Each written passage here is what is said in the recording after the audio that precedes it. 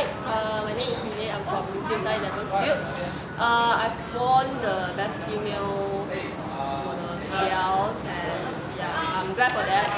And basically my three years of dodgeball experience paid off, which is good. And then uh, basically this CDL is my last CDL. So winning the championship and as well winning this award is really a good thing for me. It's a good experience.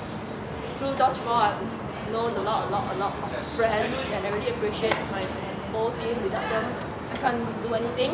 I can't even win this championship, so I dedicate this one to all of them. As well for this CDL, this year really makes a lot of difference because it brings all the clubs together, brings everyone together. It's where we share our ups and downs, we share our joy and sorrow. So basically, dodgeball is the best.